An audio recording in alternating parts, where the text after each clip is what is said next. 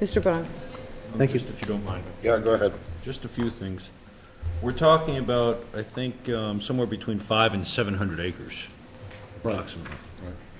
Um, I'm just trying to think of other things that might be more satisfactory that would generate the same type of revenue out of a small piece of land like that. Because I think we have like 46,000 acres in this town.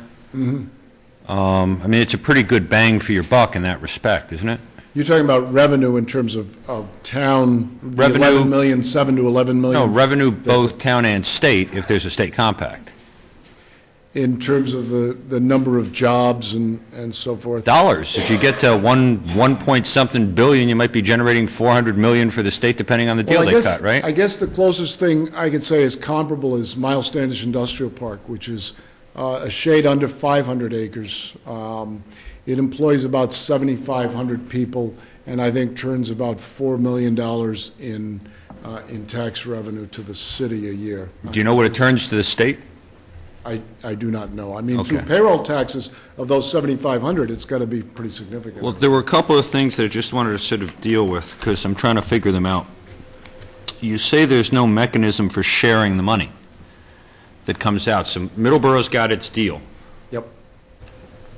And at some point, there will be a state compact if you're going to have Class 3. Yep. And I, I assume you've read the Indian Gaming Regulatory Act?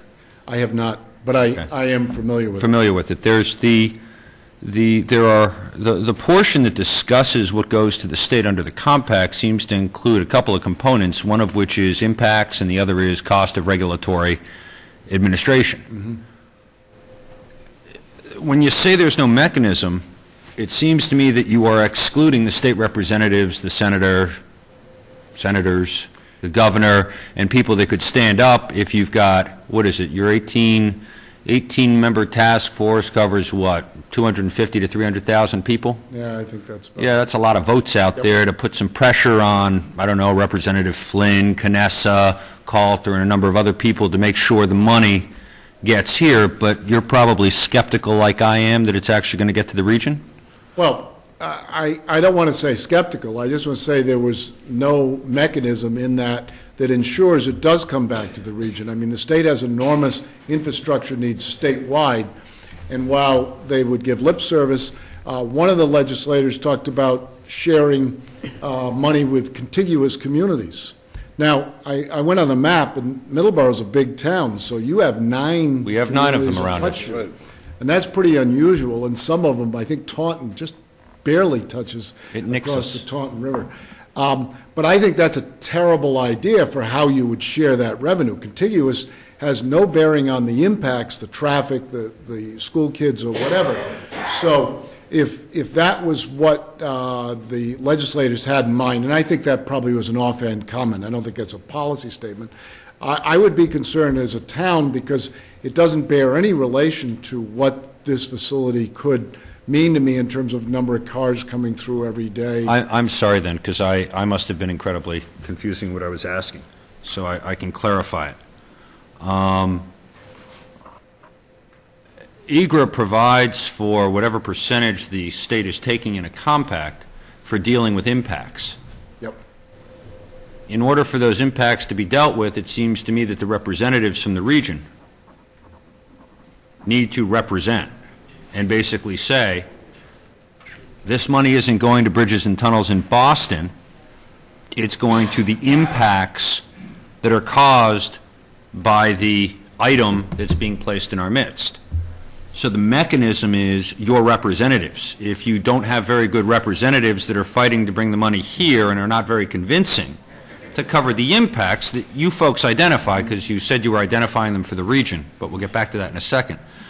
It seems to me there is a mechanism, and the mechanism is the tribal state compact in which the task force and other communities that believe that they are impacted submit impact statements um, to convince not only using their 250,000 people to, oh, I don't know, turn the head of a couple of politicians here and there, and that would turn anybody's head, um, but to also argue for the impacts that need to be covered. Because that's the thing that the money's for. I think you'd agree. I do, but IGRA does not say I mean, it's up to the surrounding communities to make their case to the legislators. There are no guarantees within IGRA that says those monies come back to the towns. So you're right, it, it- you know, they should be able to put on the political pressure, and it would be logical that that money would come back. But even under the governor's plan, um, in the letter the task force sent to the governor, the, um, the mechanisms in there are pretty inadequate. It just talks about, you know, considering regional needs, but there's nothing that, that mandates it, Well, it, it it seems, it it seems to me then that the difficulty is, from the outside perspective looking in, is precisely what you said. Middleborough has solidified its deal so far, and the rest of the communities are not really, really willing to rely on the um, good graces of the state or their representatives, or to rely on that and really stake their futures on it.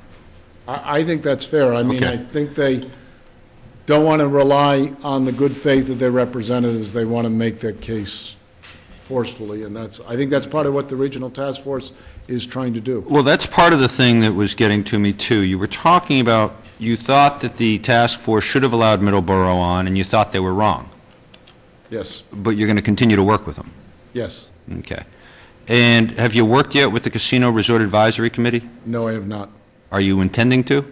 I, I, I only know of its existence, but yes, certainly, I think that would be appropriate. Okay, and you were talking about the regional impacts.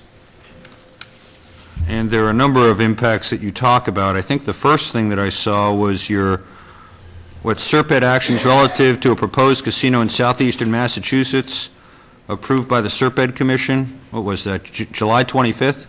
I'm sorry, what? July one was that? 25th, the SRPEDD actions relative to a proposed Yes, casino? yes, that's correct. That's three days before the town meeting vote, right? That sounds right. July Yeah, about 25th, three I days. think is correct. I'm just trying to figure out the, I think the papers, and Chris Walgren, who's sitting in the front, could probably tell me, I can't remember exactly when the discussion of negotiations began. Um, Was there, I can't remember you folks contacting me with regard to what was going on or any potential impacts. Did you contact anybody else? Um, I did have conversations with Jack Healy, um, uh, but uh, the fact is, is that I I don't think we knew a lot about it until the deal, the first deal, because I believe there was a, there were two different deals negotiated. One, John Witten was involved in negotiating, and that was not officially adopted. Um, But no, we did not ask to intervene, and, and nor were we asked by the town of Middleborough um, during those negotiations to participate. Well, I mean, part of what is surprising me is it seems to me that part of your, I think what you folks say in your concept is SRPEDD must play a lead role in representing the interests of the entire region. I imagine a lead role means you lead. You're not waiting to be asked, you're going to oh. jump in and sort of take a, take a leading position. I, I guess that's correct, yes. And then you talk about, will act as a convener of various cities and towns to develop a regional consensus. I assume that regional consensus includes Middleborough, I, I would very definitely agree with that, but the task force doesn't. It does not.